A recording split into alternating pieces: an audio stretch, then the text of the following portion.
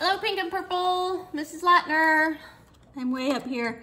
Uh, I got this new little video, little holder for my phone so I can take videos. So I'm, I'm putting it to good use. So we're gonna work on doing some shapes today. 2D shapes. So I took my piece, I made some Play-Doh from Mrs. D's uh, Play-Doh recipe on Instagram.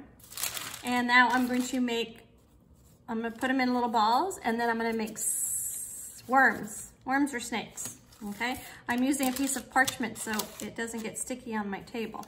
So I have, oh, he broke, that's all right.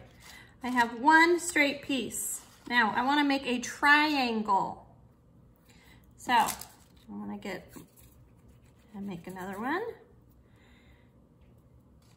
Triangle are three straight lines.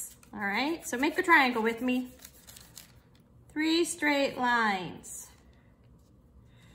All right.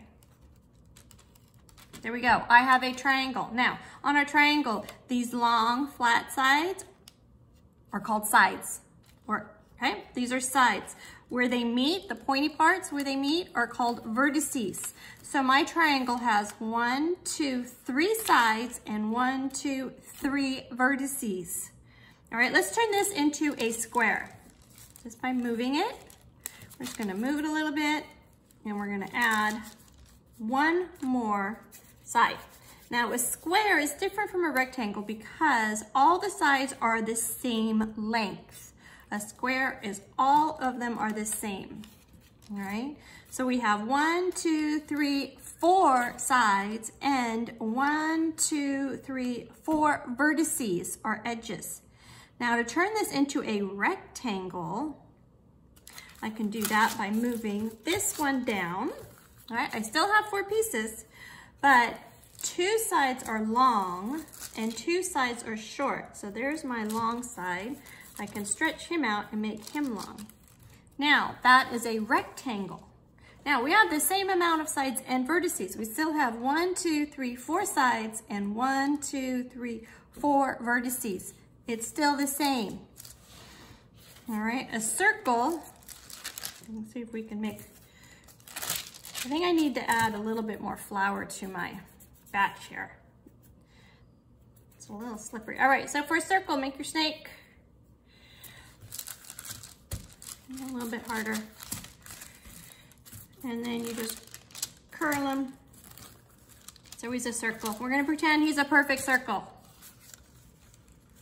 okay? Circle has no vertices because it's round and it only has one edge. It goes all the way around. It's one and one, okay?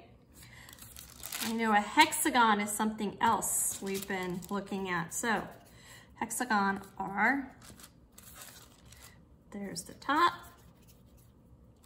there's six sides. There's the bottom, and then there's two sides two lengths on each side. And go like this. Again, this is like a stop sign. So let's count our edges. I'm gonna go out this way. I think that's pretty close. It's the best I can do, P2. So one, two, three, four, five, six edges. Now let's count the points. One, two, three, four, five, six. So six vertices and six edges on a hexagon. All right, so go ahead and have some fun making some shapes with some Play-Doh. If you don't have Play-Doh, ask mom if you can make some. Uh, it's flour, salt, water, and a little bit of oil. Uh, and that's how you make it. And then food coloring for the pretty purple color. All right, have fun.